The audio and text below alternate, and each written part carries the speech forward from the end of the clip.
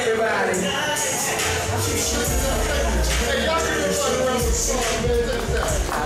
Y'all. Check this like this, but y'all don't understand what time this is. Check this out. I was one of y'all about nine years ago. To give you a little background. I was hearing there was Malachi cats like that was just performing. And I always liked poetry, but check this out. Never thought about doing it. And man, I got so excited, and out of my mouth, I was standing up there talking to some dudes. I said, man, I'm gonna write a poem and I'm gonna come back and do it next week. What? What? I'm from Dallas, Texas, man. You know what I'm saying? I ain't never done nothing like that. But check this out. I tell people all the time, words are powerful, so be careful what you speak. And knowledge is power also. So check this out, man. I never thought about what I was doing. So the whole week go by. And I, I didn't even pick up a pen and paper. I, I kind of blew it off. But look, I know God was going to hold me to that, right? So the next Sunday morning, I got up and I took out a piece of paper and a pen and I said, you know what? I'm going to just see if I can write a poem. Let me tell y'all something. Ooh-wee. I'm, the theme of the has been love and America. So I ain't got the four minutes, so I'm have to squeeze this in. I gotta do my first because it's the first time I'm back. I drove all the way from Dallas, St. Louis, for real, bro. So trust me, I'm trying to embrace back. Check this out. I say agape. It's unconditional love. So I was thinking about love and, and how, how blessed I am and, God loved me. You know, see, I'm like the guy in the footprints. I didn't know God had been carrying me all this time and he's gonna give me some gifts and put me down on the ground and let me start making my own footprints in the sand. So I was thinking about love and I said, man, this story is a, I said, this poem is a story of unconditional love. Between the groom and his bride to be, it's called What Can I Do? I Did It All For You. He said, when I started this journey, it's for a purpose and a cause. It wasn't for me, it was for all of y'all.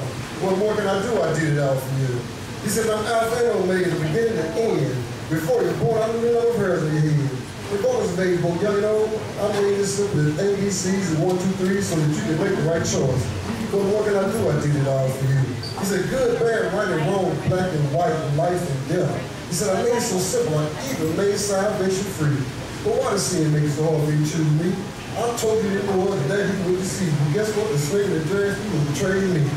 What more can I do? I did it all for you. He said, I became God in the flesh to restore what Adam lost me, not Eve, but what Adam lost me. That the hardest time of my life is when they put the cup of your sin in front of me and guard against sin. What more can I do? I did it all for you. He said, the crown thorns in my head, I took 39 lashes across my back. They were making me carry my own cross. Can you imagine that? What more can I do? I did it all for you. He said, I'm giving you all the tools you need and give you for eternity. Of you to get the praise but the rest of act like they're ashamed of me. What more I did it all for you. To those who call my name, hold on, what you got? I am getting ready to come back and get you so that we can come back and take the devil out. Well, what can I do? I did it all for you. I pray the Lord of my life, Jesus Christ, become the Lord of yours because all these gifts that shown each and every one of us are God, the unconditional love.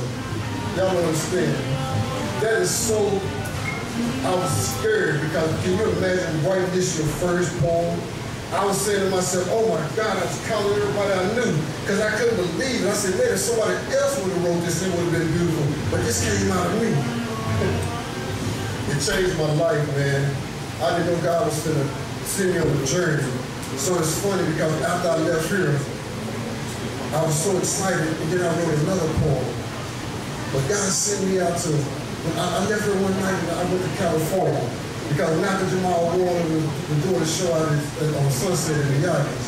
And I was so excited. I was like, wow, you feel me? It was so, it, it was like it was like a kid with a new toy. Nobody tell me nothing. So I went out there and I performed Malcolm. And what it did was God was giving me confidence to be able to step out and step up for him. And so I took the name John the Baptist because when I was a little kid, my grandfather used to call my name, and before I even knew who the Baptist was, he just, that just stuck in my head. So when I came back here before, I said, you know what, I'm just take the Baptist, because that's what I'm trying to do, wake folks up. So the second poem I wrote, people look at you when they don't understand, but the more knowledge and information you have, the more understanding you have. So imagine in 2006, my second poem I wrote was called Waking Up America. Man, everybody know the song Empire State of Mind with Jay-Z, New York, New York. But what most people missed in that song was when he said, life don't start to the church and that Jesus can't save you. Wow, for real? So in honor of this shirt, this shirt say Jay-Z, yes he can. Jesus Christ can save you too. Message. Wake up America. I said this is the condition of the world, but especially America, right before Jesus ready come back. Revelation 3 and 17 said, Thou sayest I'm rich and increase with goods and have need of nothing. But no, it's not that thou art rich and miserable, poor, blind, and naked, America. He said, To whom much is given, much is required. And America, I bless you because you're the apple of my eye. But I do find you guilty and taking me for granted, so now you just kind of like that thorn in my side. America 9-11 was a wake-up call. I made it happen to get your attention. Because I need a few good men who want to stand up tall, because same people blow plane trains and automobiles in his cars. Right now, America has a war on terror. People around the world of scared. North Korea, China, Iran, they going ready, they are getting ready to show America theirs. America, stay strong in Iran, please. I need you in Israel to stand together and bring Iran and Islam to bow down before me. And if the tsunami Katrina wasn't enough to get your attention and bring you to your knees, then maybe you should have. When you down that 1-800 number, some of the dead Indians, say, may I help you, please. Because while you sleeping playing politics in America, Sam Walker, Bill Clinton, both the Bushes, and now no Obama, seeing all your jobs overseas, because they are all Illuminati, just like Jay-Z. Wow. He said, my servant, Martin Luther King Jr was sent to America for a very short time. But I wonder how he feels now that don't have to fight so hard to get the shackles off our feet that we would stop loving each other with equal rights materialism. We don't let the devil put the shackles on our mind. Wow. One always said, America, together we stand, divided we fall. If you don't stand for something, you will fall for any man-made king. Because he fought for so much more than he saw the way we treat each other today. He'd be so displeased and ask Americans, this what I died for?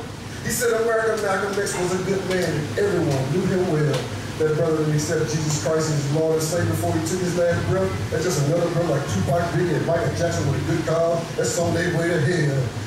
Malcolm was a man who phrase by means necessary. But when he came back to America, the knowledge couldn't use it more. They killed him and gave him black us to bury. I remember this is 2006. He said, America, wake up. It's 2006. The ACLU is dividing us and taking me away from the kids. Open your eyes and losing the youth generation growing up not knowing the truth. Because in school they teach evolution live. You teach a kid, you come from an animal, then you get the problem, you go up and act like one. He said, because in school they teach evolution live, but they won't teach creation and truth. There's so much deception going on. How the hell do you expect what the truth is? Drugs, sex, and rock and roll. This is the crowd of people. This thing called the B-I-B-L-E, basic instruction before leaving Earth to eat. There is no equal. He said, America, wake up. It's 2006. He said, if you don't learn from your past, 1929, the Great Depression, you are doomed to repeat 2009, the next Great Depression. He said, America, you're still a great nation. But if you blacks and whites, Republicans, and Democrats gonna start fighting each other, the devil gonna have you all back on the plantation. Why? Because the enemy's trying to destroy you, and he's doing it from within. Every white man ain't my enemy, every black man ain't my friend. He's got you fighting the world's problem, America, when the real problem is your sin. Because back in the day when it was black versus white, we all stuck together. But now that we're all mixing and divided, why are we still fighting each other? He says, too late to close your borders. Now the enemy's already here. He said, them jokers over for years while Clinton's in office, a Democrat. Learn how to fly an airplane, didn't know how to take that plane, because they love that devil so much, they're going to fly them jokers to two buildings in New York City and Washington, D.C. Money, power, respect. He says, too late to close your board now, man. You ain't even trying no more. The end is already here. But right before the ball starts flying, let's pray the hour disappear.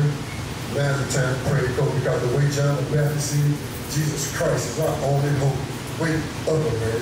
Thank God.